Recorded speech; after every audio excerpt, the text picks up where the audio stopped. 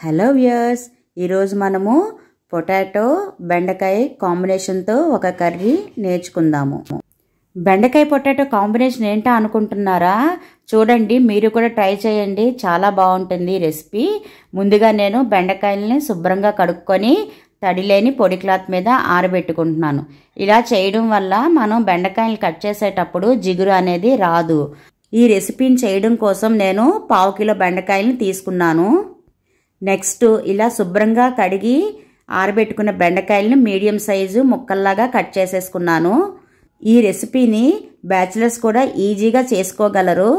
నేను ఈ పావు కిలో బెండకాయలకు రెండు పొటాటోస్ని మీడియం సైజు తీసుకున్నాను. తీసుకొని స్లైసెస్లా కట్ చేసి పెట్టుకున్నాను. ఇప్పుడు కర్రీ ప్రిపరేషన్లోకి వెళ్ళిపోదాము. ముందుగా స్టవ్ వెలిగించి కళాయి పెట్టుకొని four to five spoons oil వేసుకొని మనం కట్ చేసుకున్న బెండకాయ ముక్కలను వేసి బెండకాయల్లోని కసుతను పోయే వరకు ఫ్రై చేసుకోవాలి. ఇది సైడ్ డిష్గా చాలా బాగుంటుంది.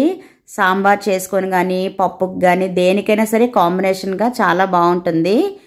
ఫ్లేమ్ని మీడియంలోకి పెట్టుకొని బెండకాయల్ని ఫ్రై అయ్యే వరకు కూడా నేను కుక్ చేసుకుంటున్నాను. నాకు ఇలా కుక్ చేయడానికి ఫోర్ టు ఫైవ్ మినిట్స్ పట్టింది. నేను ఈ బెండకాయలు ఫ్రై చేసేటప్పుడు సాల్ట్ అనేదే నేను అసలు వాడలేదండి. సాల్ట్ వేయడం వల్ల ఏమవుతుందంటే బెండకాయలు చాలా సాఫ్ట్గా అయిపోతాయి. ఇప్పుడు వేగిన బెండకాయ ముక్కలను ఒక బౌల్లోకి తీసేసుకొని పక్కన పెట్టేసుకుంటున్నాను. ఈ రెసిపీని కుక్ చేయడానికి మనకి చాలా తక్కువ టైం పడుతుంది. ఫిఫ్టీన్ టు ట్వంటీ మినిట్స్లో ఈ రెసిపీ రెడీ అయిపోతుంది. నెక్స్ట్ నేను అదే కళాయిలోని వన్ అండ్ హాఫ్ స్పూను జీలకర్ర వేసుకున్నాను. ఒక నాలుగు ఐదు రెబ్బలు వెల్లుల్లిపాయలు కొద్దిగా ఇలా క్రష్లా చేసి వేసేసుకున్నాను. ఈ రెండు కూడా ఫ్రై చేస్తున్నాను. Next one and half spoon ధనియాలు తీసుకొని దాన్ని కచ్చాపెచ్చాగా దంచేసాను అవి కూడా ఇందులోనే యాడ్ చేసేసాను. ఇప్పుడు ఈ మూడింటిని కూడా మనము ఫ్రై అయ్యే వరకు కలుపుకోవాలి. నెక్స్ట్ కట్ చేసి పెట్టుకున్న పొటాటో పీసెస్ని కూడా ఇందులో యాడ్ చేసి కలుపుకోవాలి. స్లైసెస్లా కట్ చేసాం కాబట్టి పొటాటోస్ తొందరగానే ఫ్రై అయిపోతాయి. ఇప్పుడు ఇందులోని కొద్దిగా పసుపు యాడ్ చేస్తున్నాను. నెక్స్ట్ ఈ పొటాటో పీసెస్ త్వరగా మగ్గడం కోసం నేను ఈ పొటాటోస్కి సరిపడా సాల్ట్ మాత్రమే అంటే ఒక స్పూన్ సాల్ట్ నేను వేస్తున్నాను. ఈ రెండు బాగా కలిసేటట్లు పొటాటోస్ని కలుపుకోవాలి. పొటాటో పీసెస్కి సాల్ట్ పసుపు ముందు వేసుకున్న జీలకర్ర ధనియాలు వెల్లుల్లిపాయలు అవన్నీ కూడా బాగా పట్టేటట్టు ఫ్రై చేసుకోవాలి. పొటాటో పీసెస్ ఉడికాయో లేదో నేను ఫోర్క్తోని టెస్ట్ చేసి చూస్తున్నాను. ఉడికిపోయిందండి. నెక్స్ట్ నేను ముందుగా ఫ్రై చేసి పెట్టుకున్న బెండకాయ ముక్కలను కూడా నేను ఇందులో యాడ్ చేసి రెండింటినీ కూడా బాగా కలిసేటట్లు కలిపేసుకుంటున్నాను. ముందు నేను పొటాటోస్ ఫ్రై చేసేటప్పుడు పొటాటోస్కి సరిపడా సాల్ట్ వేసాను కదండి. ఇప్పుడు బెండకాయలకి సరిపడా సాల్ట్ కూడా వేసానండి అది వీడియో క్లిప్ మిస్ అయింది. అలానే నేను హాఫ్ స్పూను చిల్లీ ఫ్లేక్స్ కూడా వేసానండి అది కూడా వీడియో క్లిప్ మిస్ అయింది. ఆ రెండు ఇంగ్రీడియంట్స్ని కూడా మీరు యాడ్ చేసేసుకోండి.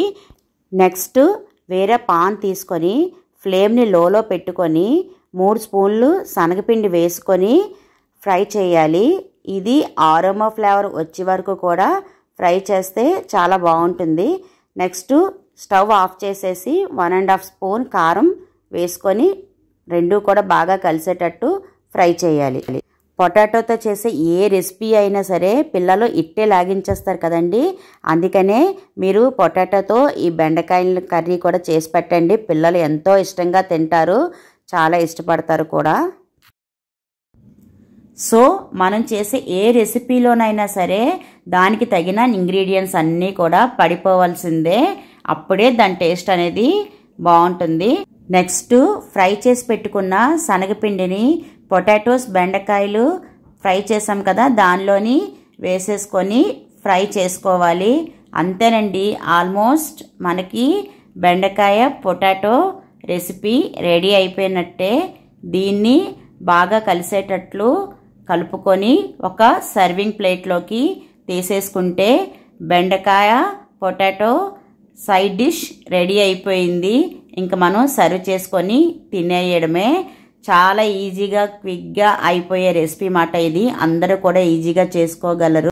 ఈ రెసిపీ చపాతీలకు రోటీలకు కూడా మంచి combination thanks for watching my channel please subscribe my channel like చేయండి షేర్ చేయండి కమెంట్ చేయండి. This is Roja signing off. Bye-bye.